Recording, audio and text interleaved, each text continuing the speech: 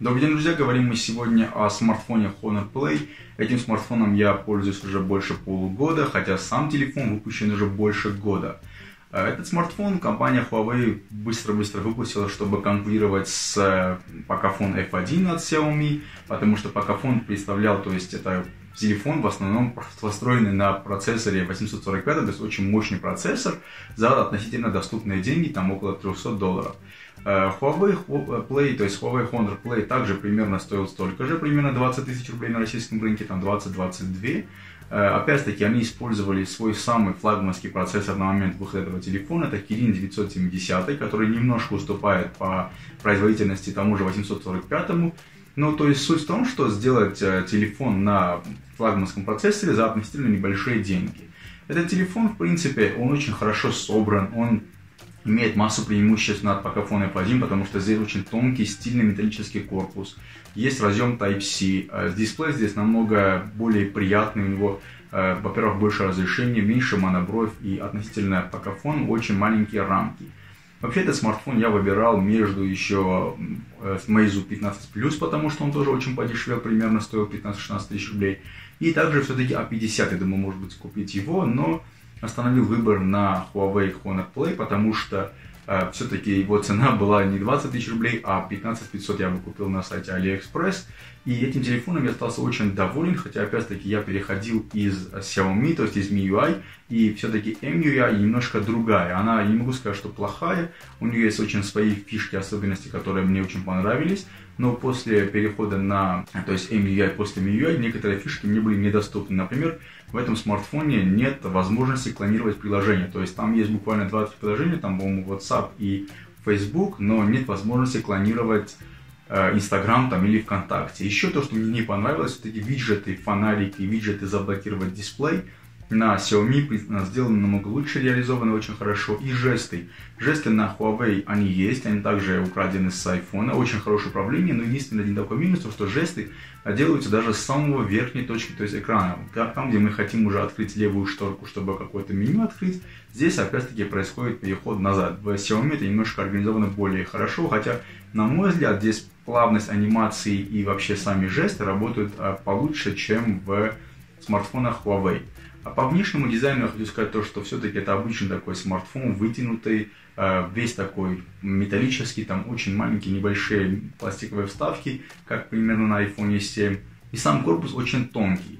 А, естественно, здесь есть Type-C, это все-таки не такой бюджетный смартфон, но камера, о нем мы поговорим, у него есть свои нюансы, но все-таки вспышка там все-таки одна, то есть не двойной диод стоит, а просто одиночный диод. Это опять-таки говорит немножко о бюджетности. Здесь IPS-дисплей, здесь нет OLED-дисплея, поэтому сканер отпечатков сзади, он работает просто очень быстро, и в отличие вообще от э, дисплея, который находится, то есть сканер находится в дисплее, я считаю, что все-таки лучше дисплей на задней стороне, потому что они работают намного быстрее. Э, этот смартфон работает на процессоре Kirin 970, который примерно сопоставим с 835 Snapdragon. В Antutu он набирает около 200 тысяч баллов, но, если честно, такая мощность даже не нужна, потому что Изначально в телефоне был включен такой энергосберегающий режим, и телефон набирал 150 тысяч Antutu. Потом, когда мы уже включаем в батарее производительный режим, телефон уже начинает работать на полную мощь и начинает э, уже набирать обычные там, больше 200 тысяч баллов в бенчмарке Antutu.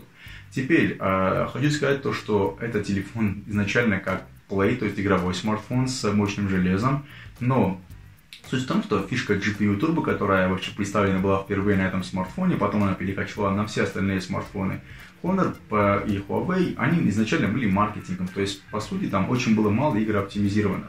Но из-за того, что Huawei и Honor это очень большая такая корпорация, разработчикам игр пришлось оптимизировать свои игры под Kirin и под видео, видеопроцессор Mali.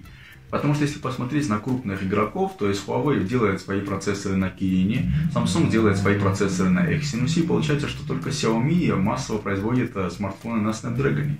Поэтому разработчикам игр уже вынужденно пришлось сделать, оптимизировать свои игры на процессоре Kirin. И если раньше играть вообще невозможно было, то есть на процессорах Kirin и Samsung, то теперь на Kirin очень хорошо играть, в принципе, так же, как и на Snapdragon. Хотя эта проблема раньше была, то есть раньше только для игр ну, считали самыми лучшими это Snapdragon. Сейчас же немножко ситуация изменилась, то есть на Kirin тоже вполне можно поиграть. Э, по фото возможностям скажу сразу то, что телефон записывает видео очень плохо. Это видео записываю как раз таки я на Honor Play, чтобы вы можете посмотреть сразу оценить качество. Но когда мы двигаемся, телефон очень плохо стабилизирует картинку. Конечно, здесь есть поддержка 4, 4К разрешения. Есть два варианта записи Full HD, это 30 кадров и 60 кадров в секунду, но почему-то я пользуюсь только 30 кадров в секунду, потому что 60 кадров в секунду как-то вот не такую хорошую картинку дает. Вообще всегда, если вы хотите купить хорошую видеокамеру на смартфоне, нужно покупать iPhone. То есть начиная с 6s, там семерки айфонов, они пишут видео очень хорошо, плавно стабилизируют. Даже iPhone 6 намного ну, дает нам лучше стабилизированную картинку Full HD в 60 FPS, чем, скажем, вот этот вот Honor Play. Ну и вообще другие смартфоны. По фоточасти э, программно очень хорошая вообще программа Huawei Honor, там очень разные про настройки. Например, есть ночной режим, когда телефон э, говорит нам, подержите, то есть телефон не двигаясь 5 секунд, и из полностью ночного снимка, там, где невозможно применить вспышку, он все-таки делает такую картинку, которую там можно разглядеть какие-то детали, конечно, появляется много шумов, но все-таки это хороший результат фотографии. Вторая камера, я, честно говоря, вообще не могу понять, для чего она здесь. Потому что когда мы наводим портретном режиме на какой-то объект, э, телефон не может размыть задний фон, пишет люди неопознанные. Но тогда для чего здесь сделана вторая камера? То есть я понимаю, на iPhone 10R там только людей распознают программно, а предметы не может распознать. Но на iPhone 10R это одна камера. А вторая камера как раз таки для этого сделана, чтобы отличать задний фон от переднего фона. Опять-таки, я не знаю, какой-то маркетинг, поставили вторую камеру. В общем, я не понимаю, даже можно было, наверное, ее и не ставить. В чем ее смысл, я так и не понял. Э, в смартфоне очень хорошо реализована программная часть. Например, те программы, которые, скажем, не оптимизированы под большой дисплей, под большой широкоформатный вытянутый дисплей 18 на 9, э, телефон очень хорошо, он то есть, он сразу предлагает включить полноэкранный режим и очень хорошо переключается в него, то есть там шрифты ничего не растягиваются. И сам смартфон, корпус очень хорош, хороший, очень крепко собран. Он у меня был и в чехле, и без чехла. Много раз падал на разные поверхности, и там остались маленькие такие точки, сколы. То есть смартфон даже там не еле заметные царапинки. Э, поэтому смартфон очень крепкий. И дисплей, опять-таки, качество, в отличие от Xiaomi, здесь очень хороший дисплей. Э, например, есть такой тест, когда просто водой, салфеткой проводит по всему, э, по всей плоскости смартфона, и капельки воды должны равномерно распределиться по всему смартфону, по всему дисплею. Вот на Xiaomi, опять-таки, на покафонах, на Note 5, на Note 7, бывают такие проблемы, что какие-то пятна остаются, неравномерно распределяется эта вода, а Здесь качество все-таки хорошее, и опять-таки там происходит выгорание у производителей вот явно, которые устанавливаются на смартфоны Xiaomi. Э, в этом смысле качество сборки все-таки больше здесь мне нравится у Huawei. Все-таки это очень большая компания, они сидят за качеством, и в отличие от э, MIUI на Xiaomi здесь нет рекламы. То есть в Xiaomi есть реклама в некоторых приложениях, которые невозможно отключить обычными способами. Скажем, в темах вообще невозможно, невозможно отключить, мы заходим в темы, на Xiaomi показывается реклама. Honor такого нет, но у Honor есть другая беда, то есть некоторые темы здесь платные, так же и на Samsung. А темы тоже неплохо реализованы, можно кастомизировать свой смартфон, там меняется даже и телефон, звонилка, и шторка уведомлений. А по поводу шторки уведомлений у меня тоже есть к ним вопросы. Там, например, э, нет такой кнопки «Включить быстрый энергосберегающий режим». Есть ультраэнергосберегающий режим, когда телефон становится черным полностью, но это актуально больше для AMOLED-дисплеев. А вот быстро, чтобы включить энергосберегающий режим, не получится. Опять-таки нужно идти в настройки. Настройки на MUI очень нелогичны. Это маленькие такие иконки, и в них э, вот 3-4 подпункта нужно будет зайти, чтобы какую-то фишку включить. Например, там жесты или что-нибудь, если мне нужно включить или выключить. Я просто чем искать это, потому что настолько быстро забывается все, я уже ищу это в поиске. То есть управление в настройках очень нелогичное. То есть нет сортировки по пунктам, например, как на айфонах или на самсунгах это сделано на тех же Xiaomi. То есть нелогичное управление в настройках. У MUI есть очень хорошие фишки безопасности. Например, есть тут данные, личные данные. То есть мы можем его спрятать под пароль или под отпечаток пальца. И даже если мы это делаем, то там задаются два контрольных вопроса. И секретное слово мы вводим, если, если мы забыли вдруг пароль.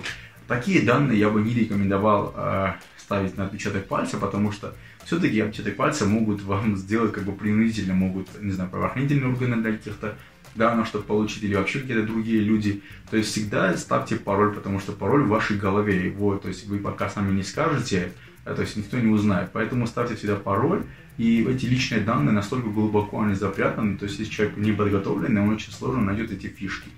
В папке альбомы, то есть в галерее, есть такой альбом недавние, недавние удаленные фотографии. Тоже это опять-таки взято с iPhone. Очень хорошая фишка. Мне нравится, потому что некоторые фотографии, которые мы удаляем, иногда хочется потом пересматривать, там, или вдруг случайно удалили мы, потом этот файл нужен. То есть папка недавние удаленные, это очень хороший такой прикол, который взят с iPhone. Вообще оболочка очень-очень быстро развивается. Многие говорят, что Huawei там уже все, Android не поддерживается. Когда я покупал этот смартфон, здесь был Android 8 и MUI 8. Потом он обновился до Android 9 сразу же и до MUI 9. И сейчас недавно пришло обновление 9.1. Поэтому, опять-таки, я бы не стал опасаться, что там Android, на Android не будет этот смартфон. В принципе, девятого Android вполне хватает, даже можно в дальнейшем не обновлять, как это делает, скажем, Meizu, они вообще на седьмом Android некоторые стоят.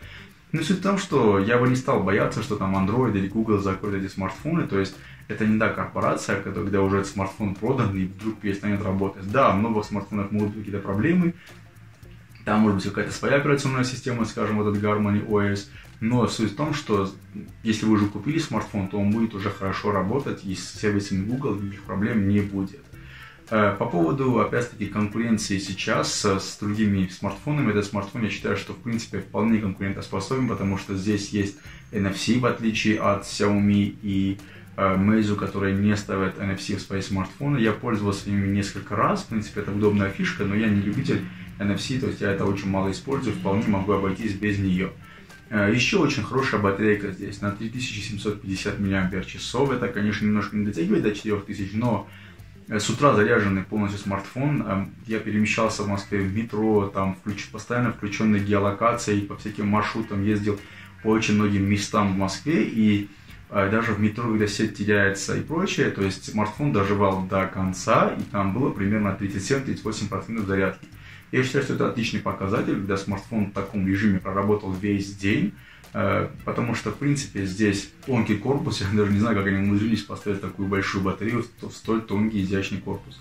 По цветам здесь было всего три цвета, это черный, фиолетовый и красный, но красный он такой был стилизован, весь такой как под игру, под какую-то компьютерную тематику, поэтому я купил его. Э, на передней части внизу очень такой, в принципе, небольшая такая рамка, но есть надпись Honor. Поначалу она меня раздражала, потому что такой интересный стиль. Нынешний логотип Honda мне вообще не нравится. Раньше логотип был лучше, когда там были маленькие буквы. Но со временем все-таки этот логотип немножко мне начал раздражать. То есть он там немножко лишний. Опять-таки здесь есть разъем для наушников, здесь есть комбинированный слот, тут можно поставить и одну сим-карту, и вторую карту памяти, либо две сим-карты. Современных смартфонах, даже в том же Xiaomi 9T, то есть там только две сим-карты, это очень плохо. Я считаю, что иногда даже не то, чтобы просто нужно расширить объем памяти, а просто нужно какие-то данные перекинуть, там записать, скажем, музыку в машину, поэтому слот для карты памяти, он в телефоне, я считаю, что необходим, он должен быть. Э, по связи Huawei очень хорошо работают, в принципе, так же, как и Xiaomi и Samsung.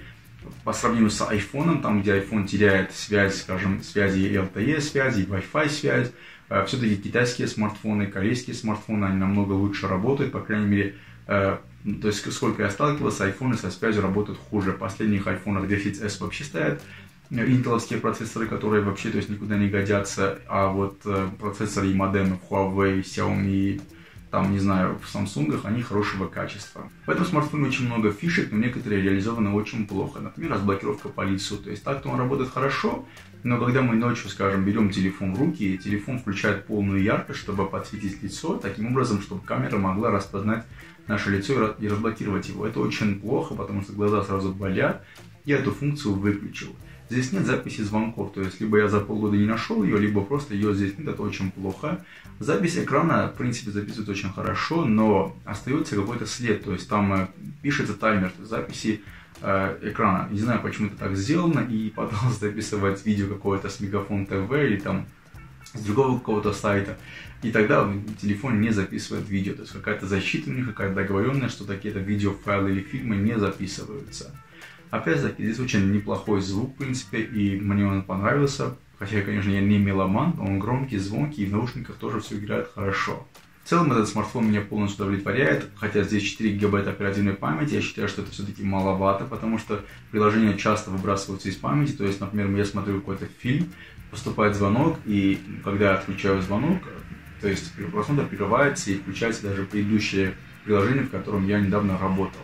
Но в целом смартфон за свои деньги очень хорошо себя зарекомендовал. И так хорошо, что смартфон за 12, 15, 20 тысяч рублей, это смартфон уже не на один год, а на 2-3 года можно покупать, смело такими телефонами пользоваться. Тут уже, в принципе, и процессоры, уже там 7-нанометровые, 8-нанометровые, очень энергосберегающие.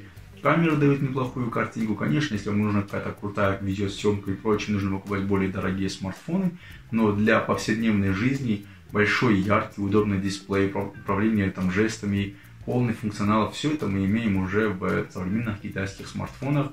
Они, конечно, перевернули рынок, и я когда-то тоже относился очень скептически к китайским брендам, китайским смартфонам, но сейчас я понял, что, в принципе, это великолепный смартфон, ими можно пользоваться и работать, то есть, не знаю, говорю, за относительно небольшие деньги, даже телефон, когда падает, ломается, тут дисплей починить полторы тысячи рублей стоит заказанный с AliExpress, то есть нет таких космических цен, когда дисплей на iPhone стоит 20-30 тысяч рублей, это стоимость уже одного неплохого смартфона китайского бренда.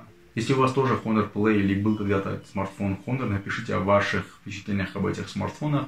Спасибо, что смотрели нас. До новых встреч.